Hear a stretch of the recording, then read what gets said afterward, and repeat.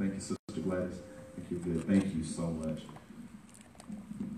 The Lord's Supper. So, uh, this is what we call the, the miracle meal. We, we do this once um, at the beginning of every month just to remember um, the, the sacrifice that the Lord Jesus made before, um, before and after he went to the cross.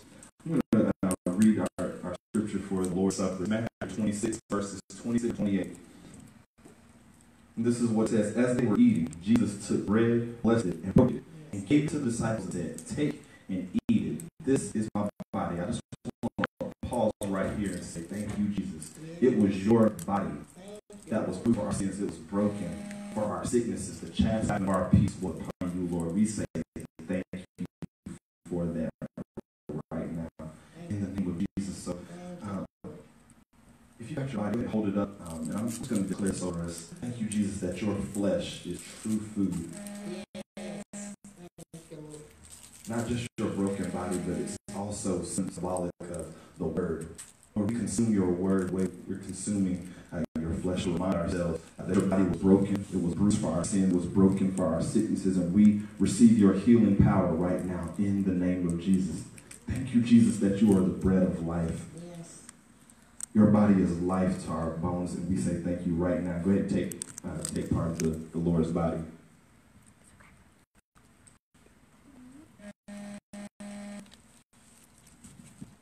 Verse 27 says, Then he took a cup, and after giving thanks, he gave it to them and said, Drink from it, all of you. I don't drink just yet because I want to remind us all that the blood of Jesus is symbolic of the covenant between us and the Father. Yes. It was poured out for the forgiveness of sins, past, present, and future.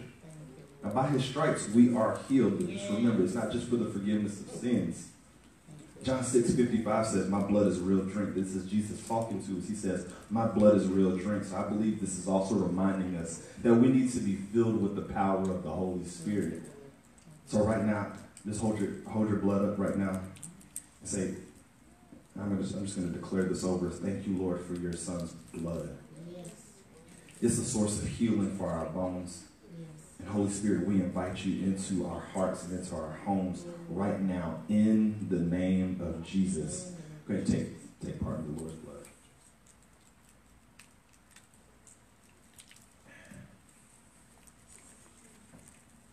Thank you, Father, for your miracle meal. Lord. We thank you that we are experiencing healing in any part of our bodies, inside and out, right now, that needs to be healed. Father, we, we, we invite you to permeate every part of our heart that is broken. We, we receive that healing right now in the name of Jesus. If you agree with that, say amen with me. Amen. Amen. Amen. So I'm going to move into our message for this morning. And I, I believe this this, this word is inspired by God. I've been sitting on this one for about a year. If you're taking notes here, if you're live with me on the prayer line, or if you're tuning in on Facebook, I, I invite you to take notes. Uh, the title of our message this morning is Peace on Demand. I'm going to say that again Peace on Demand. I'm sure there's a word in there that you can recognize the word on demand. I'm going to get to that in a minute. I believe you can't put a premium on peace, especially in the middle of a pandemic. This fact means that peace is priceless. Is that? Sorry, flip your phone around so they can so the speakers are closer to you. Yeah, perfect. I'm gonna say that again. You can't put a premium on peace, especially in a pandemic. Peace is priceless, y'all. The Bible defines peace as a state of tranquility. I'm just reading straight off of my notes here, real quick. So, security, safety, prosperity, the tranquil state, peace is the tranquil state of the soul, assured of its salvation through Christ. And so, fearing nothing from God and content with its earthly lot of whatsoever sort that is. So, first thing I want you to understand is peace is only accessible through Christ. That's right. right. Amen. Yeah. See, Isaiah 26, verse 3 says, He will keep those in perfect peace whose minds are stayed on Him. So the reason we have faith in God the Father is because we first place our faith in the resurrection of God the Son. Amen. He's also characterized by contentment. See, I'm content, but I'm not complacent. Right. I'm okay with where I am, but I know I'm not where I'm going. That's right. That's right. See, this, this pandemic that we're in the middle of, it's not going to last forever. So don't get complacent and think we're going to be here forever. No, it's, not going to be this way uh, five years from now, ten years from now. We don't know how long it's going to last, but we know it's not going to last. Amen. Amen. That's right. So I'm in a state of peace. Like Paul said, I'm in a state of peace whether I'm well hungry or fed, whether my kids are acting good or acting bad, whether my marriage is going great or whether it's not. That peace, we're all in search of that peace, and I think we're always tap dancing around it. But today I, I want us to figure out how we get to that perfect peace. See, contentment comes when we seek first the kingdom of God and his righteousness. See, when you're content, you're not going to worry about what, what you're going to eat or what you're going to drink.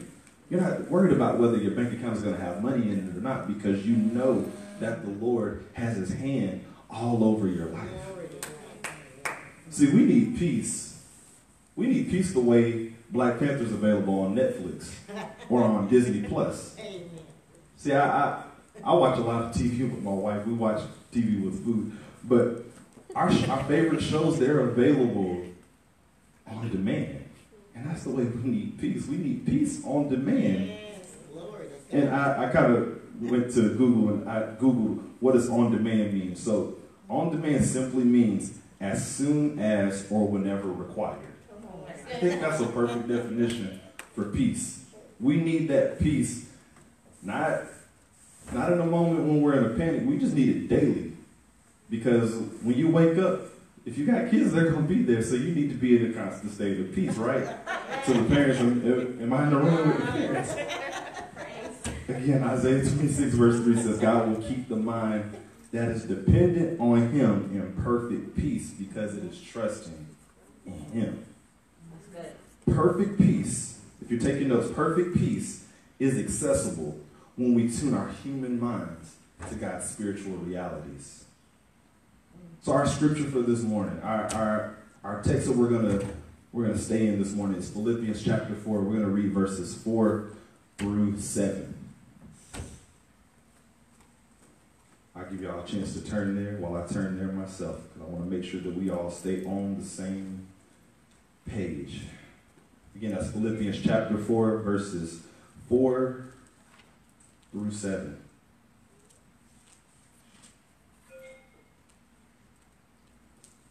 Verse 4 says this Rejoice in the Lord always.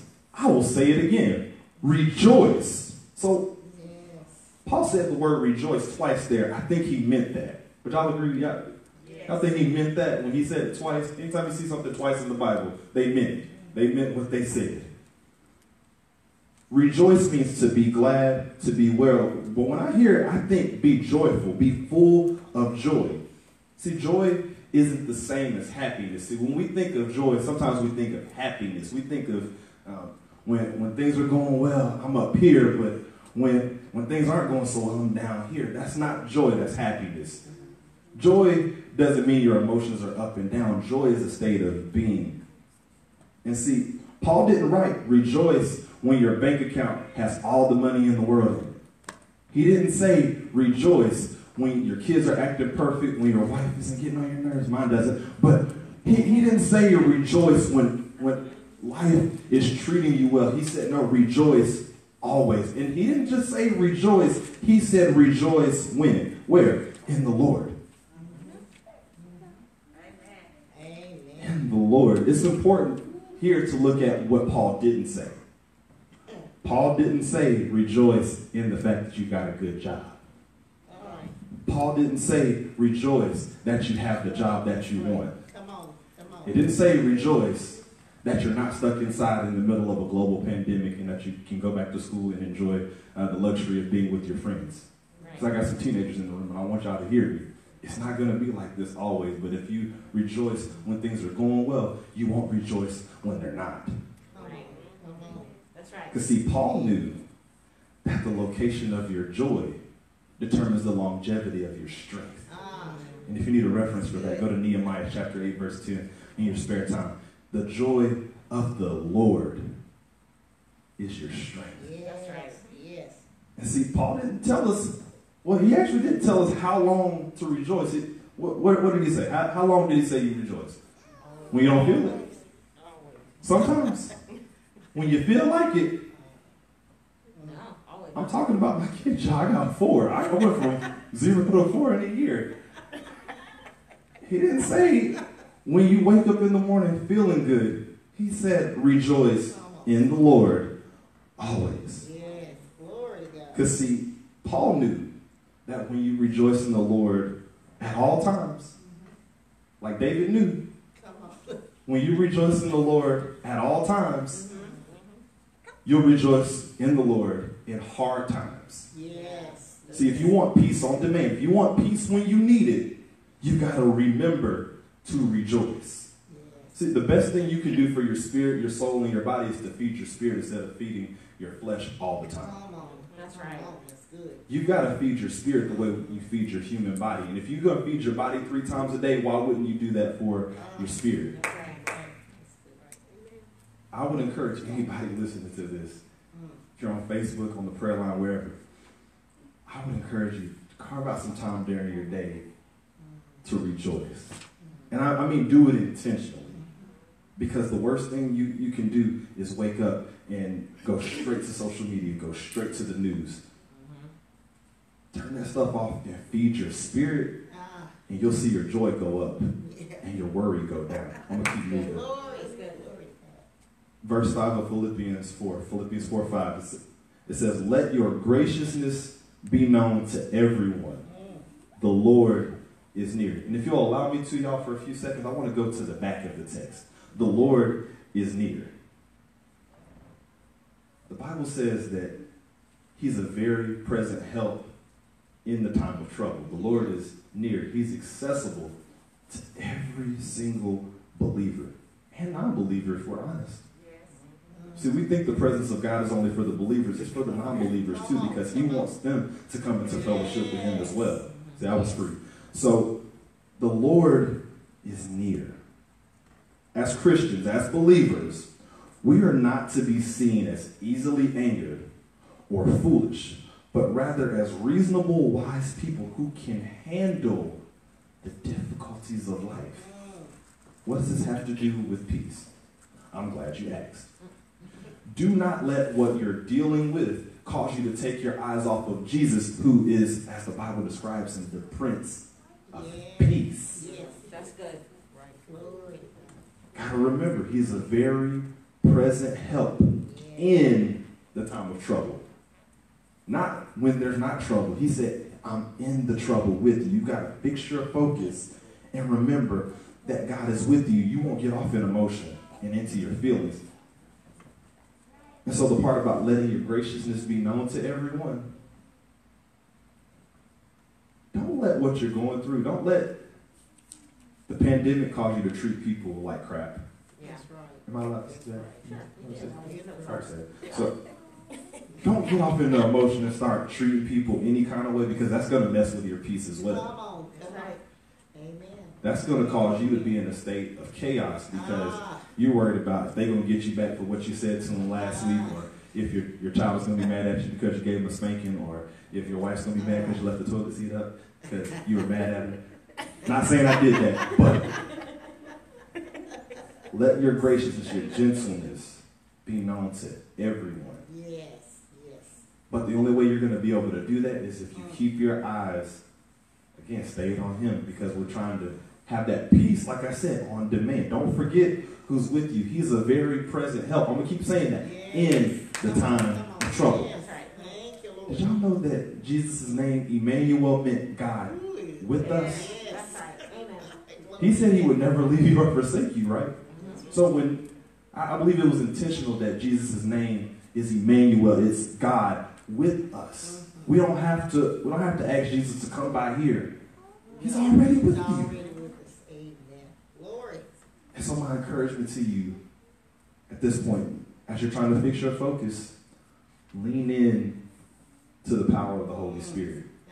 Wake up every day with an eager expectation. It's called apokaradokia. That's a Greek word that means to lean in with an earnest and eager expectation because the Lord is near and He's with you. And when you lean into His power, you'll be able to treat those around you well. And that's going to help you keep your peace. Because that's what we're talking about this morning peace on demand. I'm going to keep right on moving. We're almost done. Verse 6. And if you're just joining us, we're in Philippians chapter 4. I'm, I'm at verse 6 now.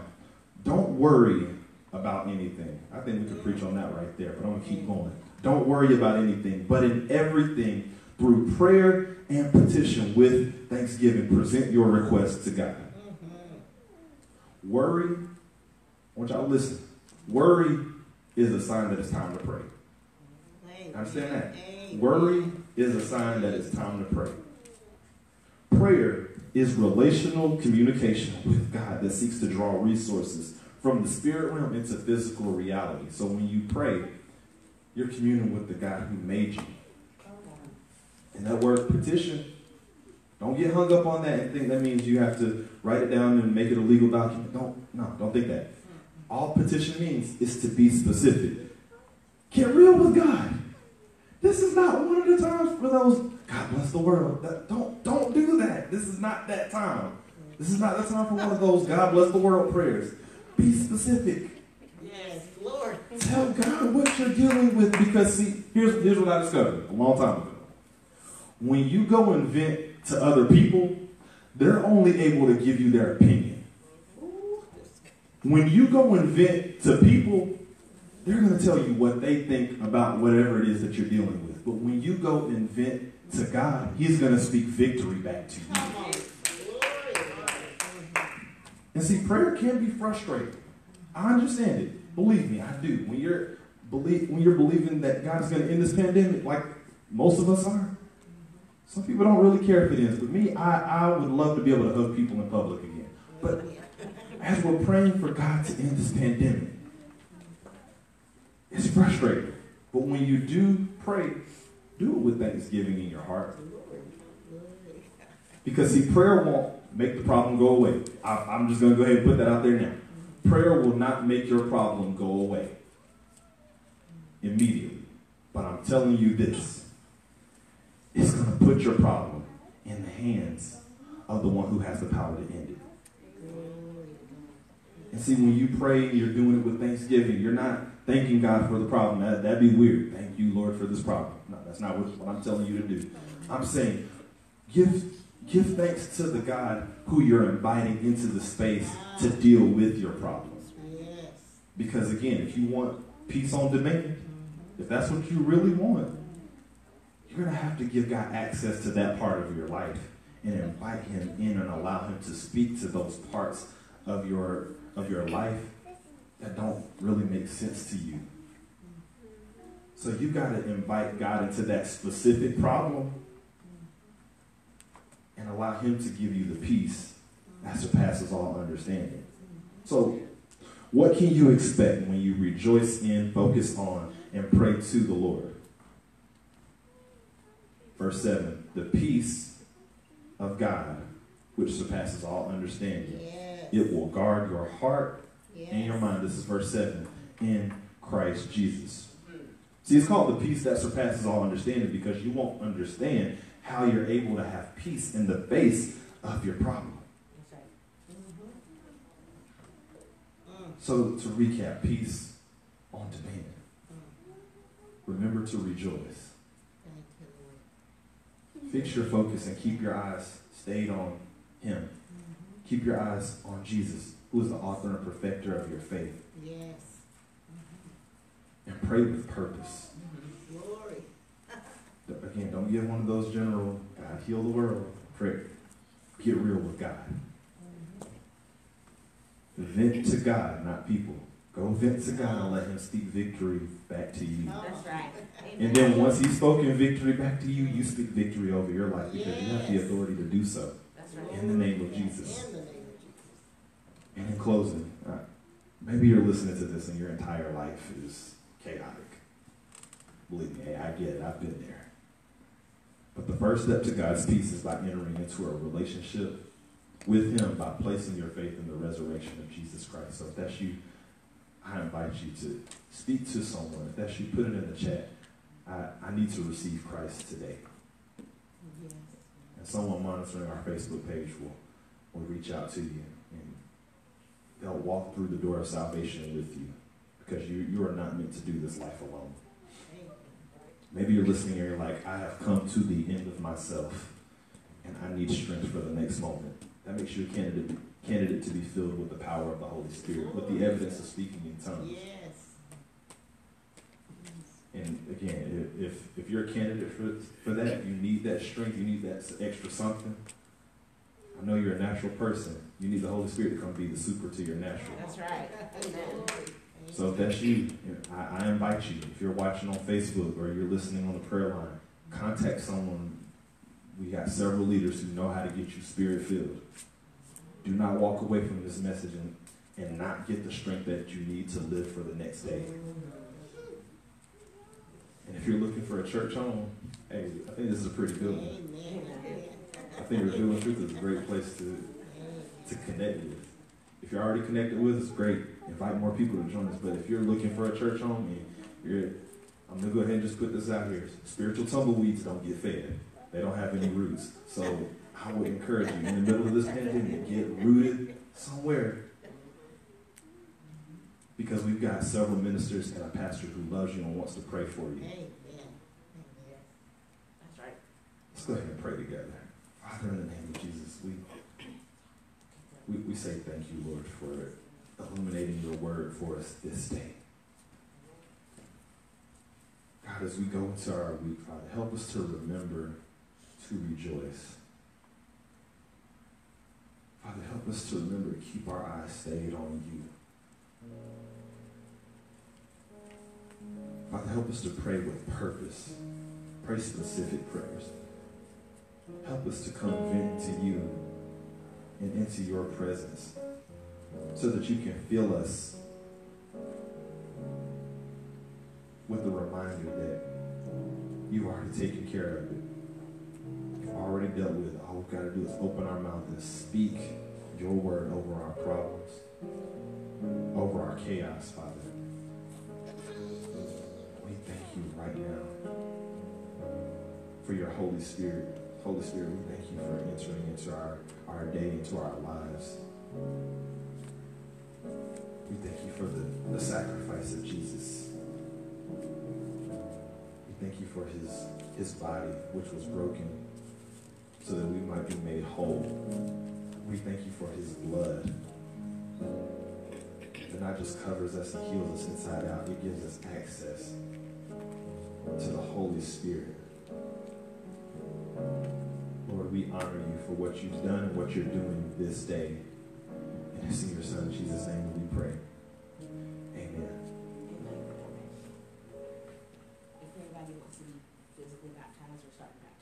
All right. Uh, someone just told me that um, if you want to be uh, physically baptized, if you're watching this um, on Facebook or um, you're listening on the prayer line, we're going to be starting up um, baptisms uh, pretty soon.